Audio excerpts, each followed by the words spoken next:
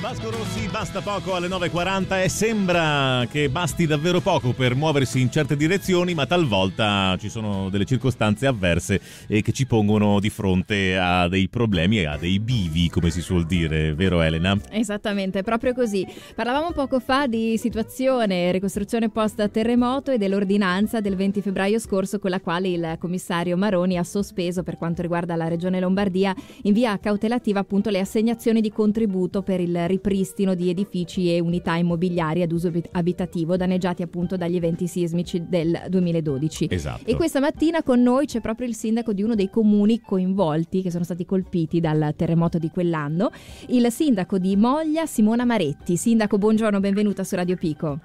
Sì, buongiorno, buongiorno. Buongiorno sindaco. Allora, buongiorno. com'è la situazione? Cosa possiamo dire in apertura?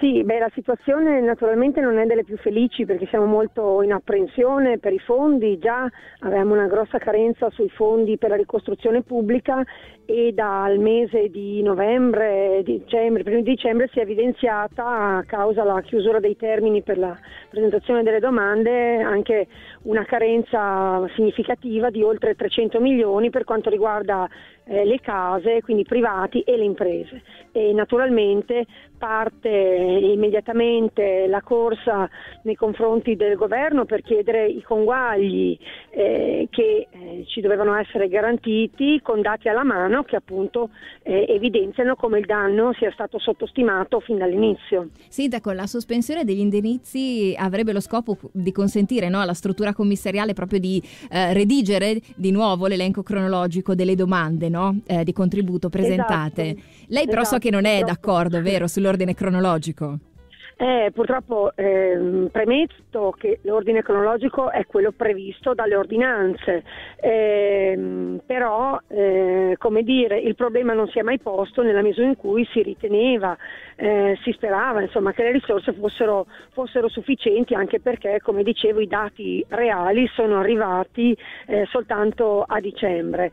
Detto ciò appunto mh, il criterio cronologico in questa situazione di insufficienza di risorse eh, impone di capire come comportarsi e eh, ovviamente applicando le ordinanze la Regione non può che fare al momento un elenco cronologico per capire, incrociando eh, le, le, pratiche di tutti i comuni, fino a quando, fino a quale numero di pratica ci sarà la copertura e, quando non ci sarà più e di lì sarà necessario appunto andare a integrare le, le risorse. Quindi detto questo è evidente che eh, questo criterio cronologico eh, diventa iniquo, nel senso che non prescinde da qualsiasi considerazione su prima casa piuttosto che seconda casa, fienili.